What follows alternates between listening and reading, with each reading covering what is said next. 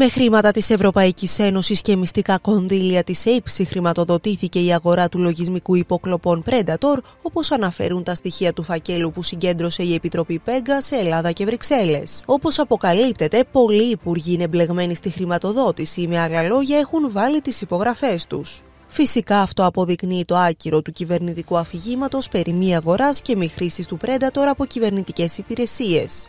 Ο Κυριάκος Μητσοτάκης, μη μπορώντας να αρνηθεί τη χρήση του λογισμικού σε εκατοντάδες άτομα, ανήκοντας στον πολιτικό, επιχειρηματικό και δημοσιογραφικό χώρο, προχώρησε στο τελευταίο αφήγημα που θα μπορούσε να χρησιμοποιήσει. Δεν έχουμε σχέση εμείς, κάποιοι άλλοι είναι και ψάχνουμε να τους βρούμε.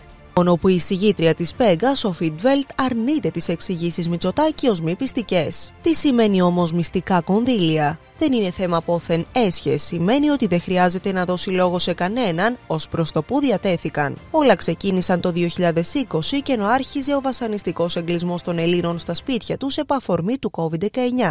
Τότε η κυβέρνηση έλαβε δύο αποφάσεις προκειμένου να ελέγξει τη διωγγούμενη δυσφορία, τους πολιτικούς αντιπάλους, τα μίντια και πιθανές κινήσεις των ενόπλων δυνάμεων, που αν και ελέγχονταν απόλυτα λόγω της ηγεσίας, εν τούτης υπήρχαν υπόνοιες για τα μεσαία και χαμηλά κλιμάκια.